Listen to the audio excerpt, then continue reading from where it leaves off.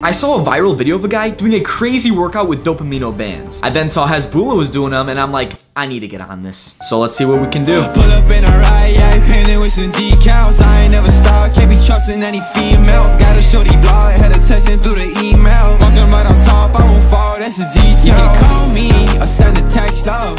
Going solo, but I wish you all the best love. The cool thing about it is you can hook these bands up to pretty much everywhere. Outside, I just hooked up a little hook to a tree. But honestly, that wasn't even the tip of the iceberg. They have a whole website of exercises and different ways to tie the band. But I think this might be my new favorite way to exercise.